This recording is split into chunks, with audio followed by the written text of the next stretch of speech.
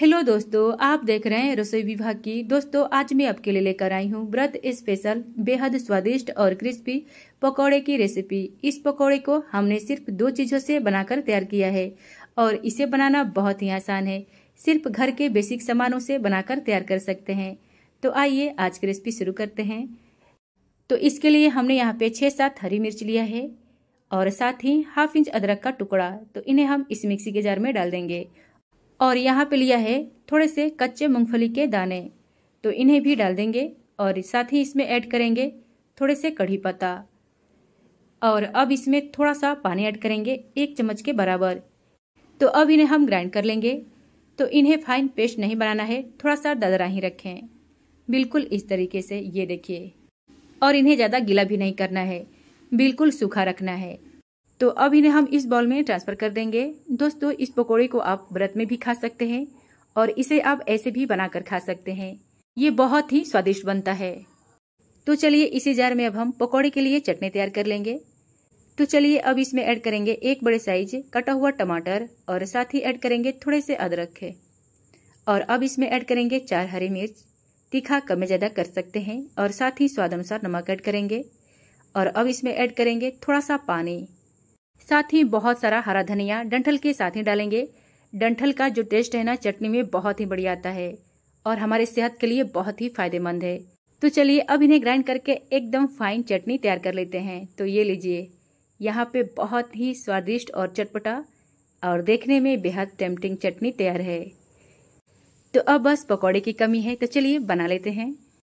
तो पकौड़े बनाने के लिए हमने यहाँ पे चार मीडियम साइज बॉईल किया हुआ आलू लिया है तो इस आलू को हम प्लेट में ट्रांसफ़र कर देंगे और अब इसमें ऐड करेंगे कच्चे मूंगफली का मसाला जो हमने ग्राइंड करके तैयार किया है तो इन्हें हम इसमें डाल देंगे और साथ ही इसमें ऐड करेंगे एक छोटी चम्मच काले मिर्च का पाउडर आप यहाँ पे काली मिर्च को कूट कर भी इसमें डाल सकते हैं अब साथ ही इसमें स्वाद अनुसार नमक ऐड करेंगे तो मैंने यहाँ पे सादा नमक इसमें इस्तेमाल किया है जो हम रोज के खाने में इस्तेमाल करते हैं अगर आप व्रत में नमक खाते हो तो सेंधा नमक का इस्तेमाल कीजिएगा और साथ ही इसमें ऐड करेंगे हम वन बाई टू कप सिंघाड़े का आटा यहाँ पे मैंने आपको सिंघाड़े का आटे का पैकेट दिखा दिया है जो कि फलाहारी होता है और ये सिंघाड़ा पानी में उगाया जाता है और ये सूखने के बाद इस तरीके से पाउडर बनकर तैयार होता है इस सिंघाड़े के आटे का आप हलवा भी बनाकर खा सकते हैं और इसे आप इस तरीके से पकौड़े बनाकर भी खा सकते हैं तो अब इस आटे को इसमें बहुत अच्छे से मिक्स कर लेना है तो यहाँ पे सिंघाड़े के आटे की जगह आप इसमें कट्टू के आटे भी ले सकते हैं जो कि सिंघाड़े के आटे की तरह ही होता है अब सारी चीज़ों को अच्छे से मिक्स करने के बाद अब इसमें हम ऐड करेंगे 100 ग्राम पनीर और इस पनीर को हमने घर पे ही बनाया है यहाँ पे आप बाजार के भी पनीर ले सकते हैं पर उसे आप अच्छे से ग्रेट करके इसमें डालिएगा अब सारी चीज़ों को इसमें अच्छे से मिक्स कर लेना है और इन्हें एकदम डो की तरह तैयार कर लेना है बिल्कुल इस तरीके से यहाँ पे सारी चीजों को दो से तीन मिनट के लिए हाथों से अच्छे से मसल मसल कर तैयार करना है तभी आपके पकौड़े एकदम परफेक्ट बनेंगे अब यहाँ पे लेंगे हम थोड़े से रिफाइंड ऑयल और हाथों को चिकना कर लेंगे यहाँ पे आप देसी घी भी ले सकते हैं अब इसमें से हम छोटा सा लोई लेंगे और इन्हें हाथों से अच्छे से चिकना कर लें उसके बाद दोनों हाथों से एकदम परफेक्ट बॉल्स बना लें बिल्कुल इस तरीके से और इस पकौड़े का साइज न ज़्यादा बड़ा रखना है और न ज़्यादा छोटा बिल्कुल इस तरीके से मीडियम साइज में तैयार कर लेना है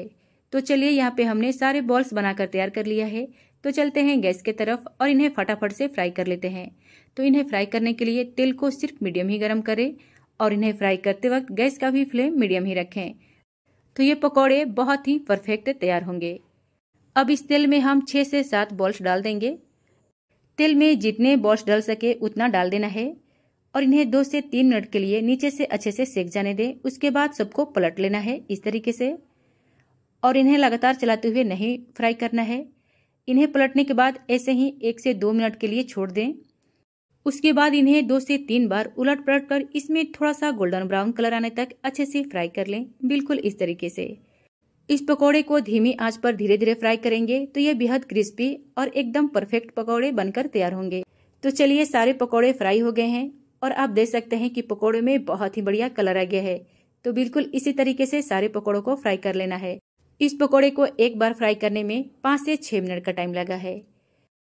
इस पकौड़े को मैं तोड़कर दिखाती हूँ ये बहुत ही क्रिस्पी और बहुत ही स्वादिष्ट बन के तैयार होता है इसे आप एक बार बनाकर दो से तीन बार खा सकते हैं दोस्तों रेसिपी को ट्राई जरूर कीजिएगा और मेरे चैनल पे नए हैं तो चैनल को सब्सक्राइब जरूर कर दीजिएगा आज की रेसिपी आप सभी को कैसी लगी कमेंट करके जरूर बताइएगा आज की रेसिपी आप सभी को पसंद आती है तो इस वीडियो को अपने फ्रेंड्स फैमिली में जरूर शेयर कीजिएगा मिलते हैं नई रेसिपी के साथ थैंक यू